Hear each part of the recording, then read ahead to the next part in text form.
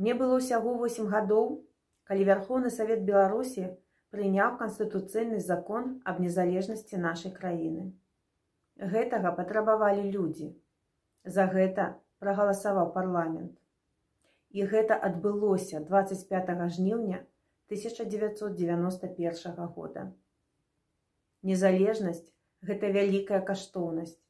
Гэта магчымасць для народа быць гаспадаром на сваёй зямлі самому вызначаць свой лёс і несці за гэта адказнасць.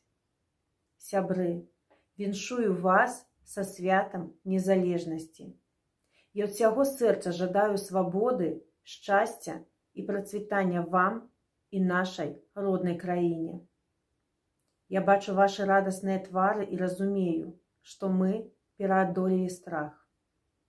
Я бачу ў вашых вачах рашучасць і разумею, што мы ўзялі на сябе адказнасць адказнасць за сябе і за Беларусь. Я адчуваю біццё вашых сэрцаў і я ўпэўненая што надзея воля і настойлівасць прывядуць нас да перамогі сёння 25 жніўня на плошчы незалежнасці прыйдуць дэпутаты якія ўдзельнічалі ў прыняцці закона аб незалежнасці. І прыйдуць людзі якія даказалі што годныя жыць у незалежнай краіне. Чакаем вас а 18 гадзіне. Разам мы пабудуем краіну для жыцця.